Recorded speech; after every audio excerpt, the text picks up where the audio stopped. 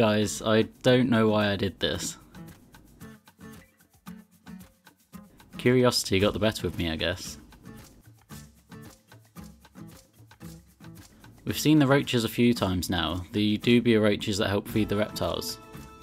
The population's been growing quite steadily and it seemed to max out around 200 roaches.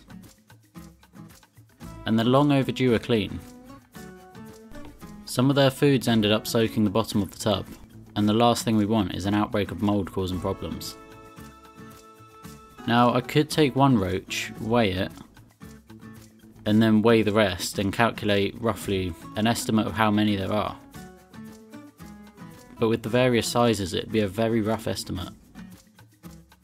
Not to mention all the babies and the hidey holes in the cork bark that'd be a nightmare to get out. So with the aim of not stressing them out too much, and well maybe I'm a little bored, it's time to count them. One by one. As simple as we can get. From the tub, pick out the adults, count them, and put them in another tub. Then scan the cork bark, counting the babies as we go, and pop them all into a separate tub as we go. Let's speed this up a bit.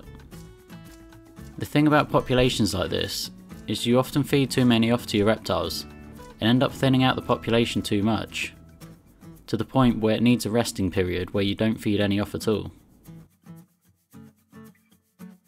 Or you take really good care of them and feed far too few of them off to the reptiles, until you then hit the moment where the growth stops being steady and starts becoming exponential. Like I've only just started to realise. Over 100 roaches now and no sign of slowing down.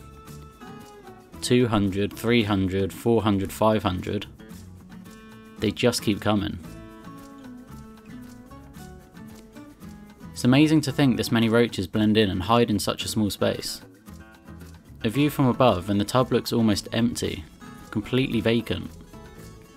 Only a few roaches in sight. But deep down there's hundreds biding their time. Quite frankly I don't know what I'm going to do with them all. Only Charlie and Roscoe make use of these guys. And although there's hundreds of babies, they'll soon be adults. I feed Roscoe maximum around 20 roaches per week, and his diet can't fully revolve around one insect. This means with the current scope of things, including Charlie consuming maybe 5 per week, it'd take around 20 weeks to feed them all off. That's almost half a year. And we haven't even finished counting yet. Not to mention female dubia roaches have an estimated 25 nymphs per pregnancy and their gestation or pregnancy period is only around two months. Continuing into the 700s, still with plenty more to go. We aren't done yet. I'm now thinking what to do with them all. Do I give some away? Try and sell them online as feeders? One thing's for certain, they're gonna need a bigger home, and soon. I'll have to prepare something larger to accommodate a colony of this size. This has already gone over four times the amount I thought I had. And the problem is, if I sold them online, I mean great, it would be a great source of income for SG Animals.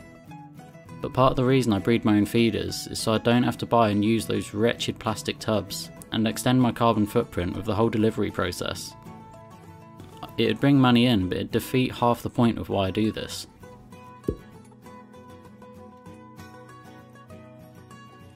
At 900 and we've gotten down to the substrate now, the frass.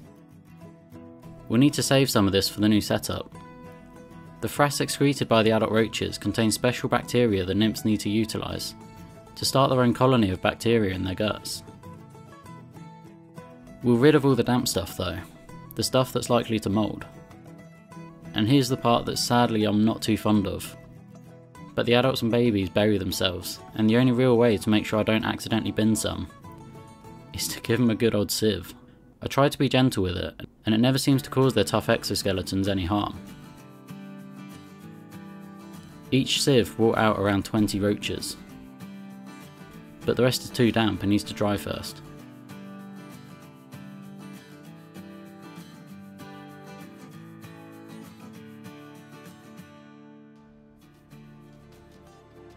So here it is, the final count.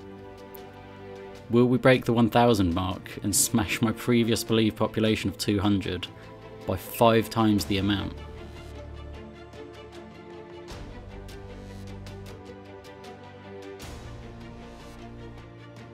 And there we have it. A grand total of 1,123 roaches. This is just crazy. Is the stuff of people's nightmares, but I can't help but feel proud. I'm stumped by what to do about this. But what better proof is there that I'm being a good roach father than a booming population? One thriving so well they outgrew their large tub. I'm giving 50 roaches away to someone at work who has a bearded dragon. As for the other 1070, guess I'll have a think. maybe if I can find some packaging that's more eco-friendly, then maybe I'll sell some to other keepers. Let me know if you have any suggestions or thoughts. Or even just leave a comment just calling me a weirdo for spending my Saturday counting hundreds of roaches. Believe me, I'd appreciate it. All that's left is some fresh substrate, which won't cause a mite explosion like it did in the Morio bin. The roaches will use and consume it fast enough for it to not be an issue. And time for them to all go back in. Until next time.